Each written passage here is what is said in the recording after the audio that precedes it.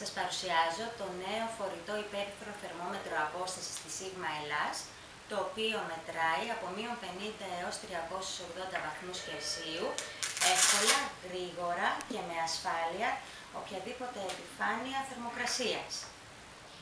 Η χρήση του είναι πάρα πολύ απλή. Λειτουργεί με μπαταρία, η οποία τοποθετείται σε αυτήν την ε, εσοχή και κλείνοντας το καπάκι και ακούγοντας αυτόν τον θόρυβο, μπορούμε να ξεκινήσουμε τη μέτρησή μας.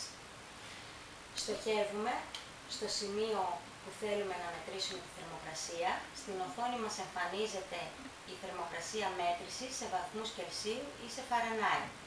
Έχει φωτιζόμενη οθόνη και στην οθόνη φαίνεται το minimum και το maximum της θερμοκρασίας.